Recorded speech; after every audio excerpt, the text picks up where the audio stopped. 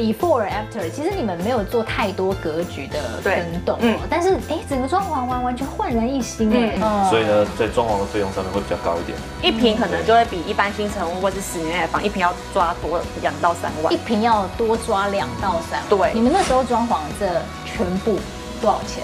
对哦，将近快四百万。对哦，最重要就是为了预防以后楼上楼下邻居大家闹不开心的吵架，所以我们做了什么事？哦我们把楼上楼下的那个污水管都把它全部换新的。真的，对啊，他们应该很感谢你们吧？对。他们可能想说，我们先去跟他拜码头，他们要干嘛？我们就说没有，我们想要自备帮你们换污水管这然后他。们怎么说好啊。对，好啊。进来喝茶。对，各位观众大家好，我是安琪，欢迎来到我的四十年时髦老宅。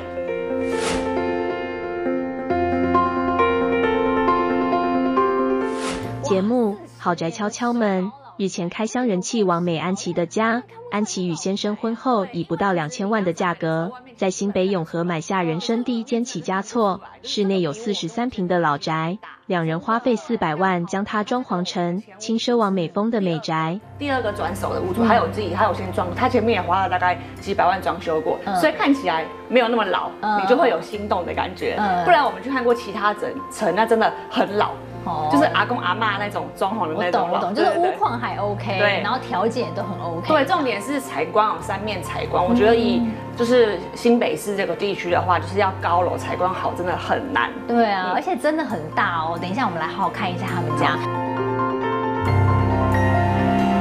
镜子就是因为我原本之前的工作是模特，嗯那就是因为个人就是非常的爱美，然后一定出门前一定要看一下自己的着装啊，再度的检查一下，对，看看哪里有没有问回。家的时候也可以看一下，说，嗯，今天的你辛苦了，对，然后就可以卸下一切。回家也要再看这仪式感，很仪式感，对，就是很爱照镜子啊。对对对对对那走进来这边，其实马上就看到餐厅区了。对这样，哎，我觉得你们家真的很有那种完美风格，哎，然后我很时髦，老王美，一定要有王美风格。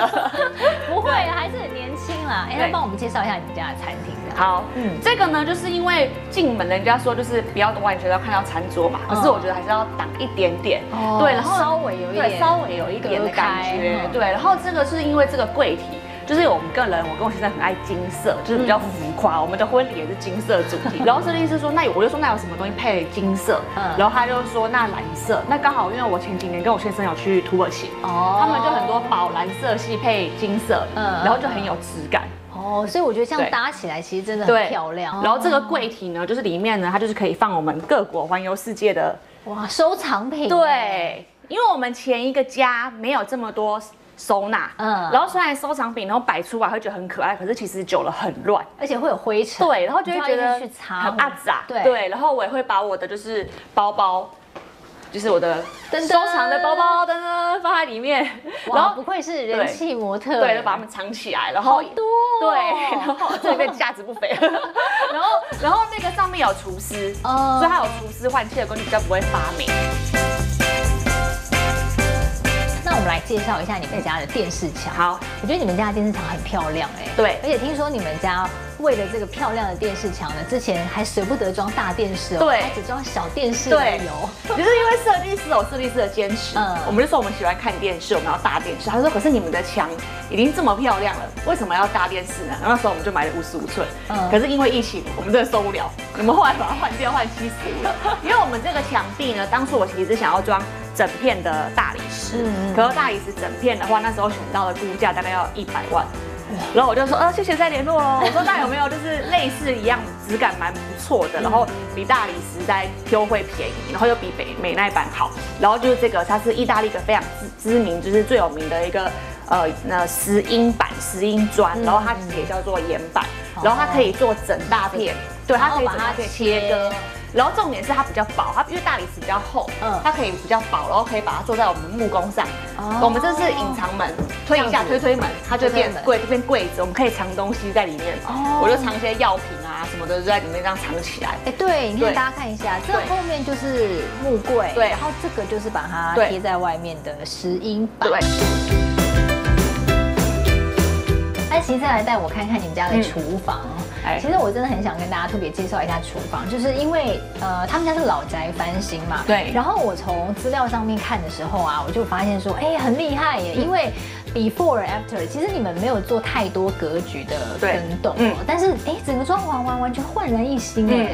对啊，因为其实这个真的就是也是要更好，就沿用我们觉得前屋主嗯他已经有第一次的装修过，让我知道大概有什么样的想法，嗯嗯然后我想要全室都白白，因为它其实厨房没有很大，嗯嗯我觉得白可以让整个空间感变大。放大对然后虽然说它的格局是一样，对但是换了颜色，对然后换了整个厨房的厨具材质，就真的完全不一对样。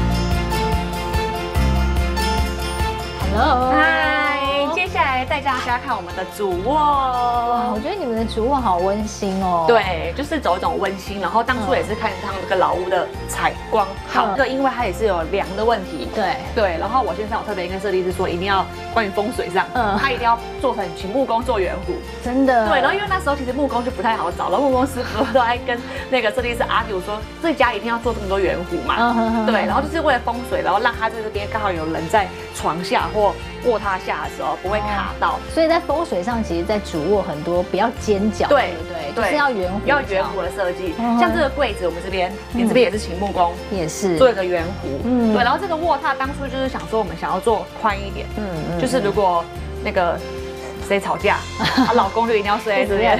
对，然后它的采光就是很棒，它白天可以在那边看书啊，然后躺着，对啊，好舒服，而且你看这个卧榻好深哦，对，它真的很深，几乎是一个单人床的深度喽。所以我就想说，如果之后我就是宝宝出生的时候，好像放在这边隔一个围栏也都 OK。对呀嗯，超级适合的。对那你的这个梳妆的地方在哪边？这就是厉害，在你后面。这个呢，好多神秘的空对间，。这道门呢，它也是木工，看做的很精致，它还有细的雕刻。外，这个呢是第一道隔音，OK，然后我的化妆室是在这，哇。这边呢是我的化妆台，欢迎光临。是小而美的对。化妆台。对，然后这片呢就是它是大理石啊，嗯。就是沿用回很想要用的大理石，可是就是预算有限，所以只能局部点缀。嗯嗯嗯。那这个大理石它就是整片，然后下面这个是珍珠贝壳板点缀金色，嗯嗯，然后它可以做整面的，然后我的保养品会每天用到的就放在这，然后香水柜，然后我有一个很喜欢的这个特色点是跟设计师也讨论很久，这个噔噔，这个东西可能男生不懂，嗯。可是我们女生就懂，因为我们在化妆的时候，其实上面很容易会有黄光，嗯。嗯，你会下手太重。没错。可是我的自然采光是从前面来的，嗯。嗯，所以我我一直坐在这边的时候，我可以化完妆的自然采光从我前面来，哦然后看起来就会专妆，妆容就会很准。好专业哦。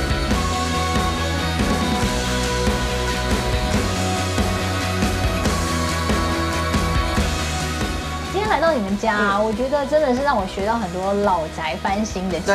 这样，那我觉得也想要帮观众朋友们问一下，就是说，如果也想要做老宅翻新，那目前呢、哎，你们住进来多久了？多久？差不多三呃快三年。快三年。那有没有什么最大的优点，跟你们觉得可能要包容一下的缺点呢？哦，我觉得优点就是因为它已经是老宅了，老宅基本上都会选在一个地方地理位置最热闹的地方，嗯嗯，那它就一定可以闹中取静，哦就是你找老宅，它可以找闹中取静，地点方便对，地点很方便，老师呢？老师价钱价钱价钱，价钱是最重要哦，的。价钱是不是？呵呵，哦就是比较实惠比较实惠对实惠然后公社很多少很多。就是享受比较大的空间这样。好，那缺点呢？